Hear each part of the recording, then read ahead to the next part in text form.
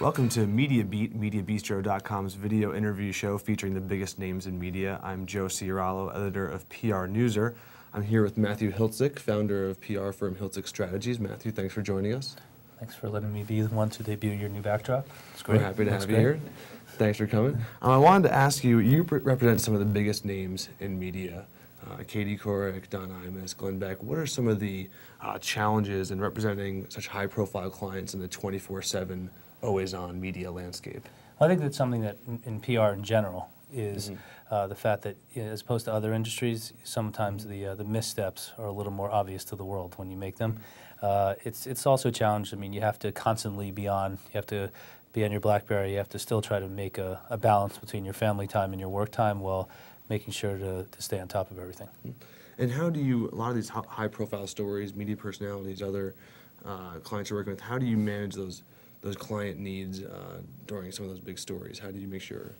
Well, I think that in general you need to be really taking the time to develop the relationship with the individual and to be able to understand their preferred method of communicating and, and how they do things on a day-to-day -day basis mm -hmm. and to really respect them having their their privacy, having their room, understanding what are the stories or the angles that are going to be most upsetting to them or uh, the ones that they, on a positive note, the things that they really that matter the most in terms of making the public aware of. And you've worked extensively in politics as well and some campaigns with Chuck Schumer and some other politicians.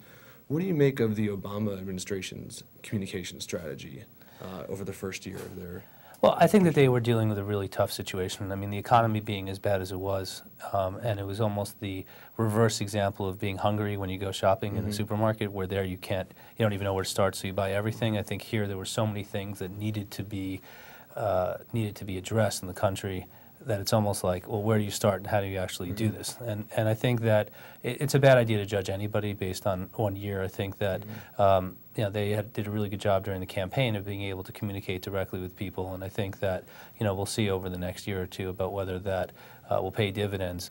Um, you had a nice profile story in the Washington Post this past October talking about some of your work, and um, my parents liked it, so I'll go by that, but it's okay. Send it home to mom and dad. Um, Ken Sunshine, who we all know, told the Post, um, I value our friendship. I wouldn't be caught dead representing Glenn Beck. What is your response to people who like to I value my friendship with I value my friendship with Ken, and I wouldn't be caught dead representing Van Jones. so I, uh, I, would say the same thing. I mean, look, I love Ken. He's been an incredible friend to me. Uh, he's been a mentor in different ways, and uh, it's something for me. As I, I also mentioned there, um, you know, I'm not gonna change who I am or, or who I work with based on what mm-hmm. other people say.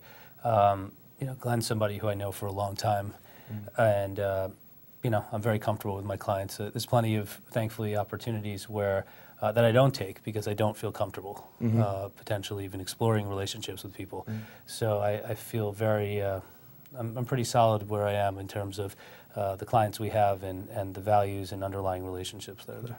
And who has been your most challenging client over all the years that you've been in the PR industry?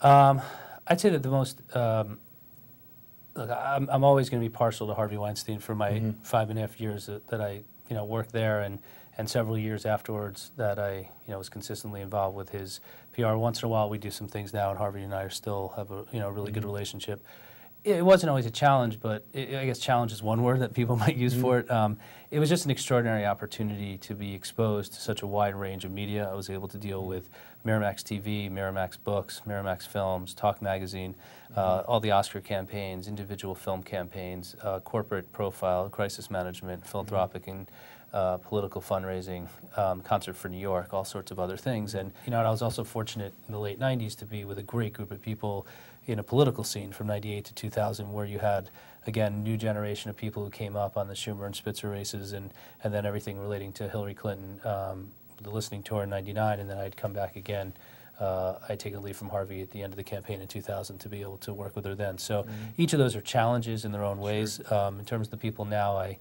you know, I'm, I appreciate you know what we have and whatever mm -hmm. you know momentary challenges we have is just sort of part of the job and it's not really much about them. Gotcha. Well, thanks, Matthew. This end of part one. Um, all very interesting. We're going to continue in part two of our interview with Matthew Hiltzik, founder of Hiltzik Strategies, talk about some of the biggest PR trends and the PR industry trends over the last year or so. Great.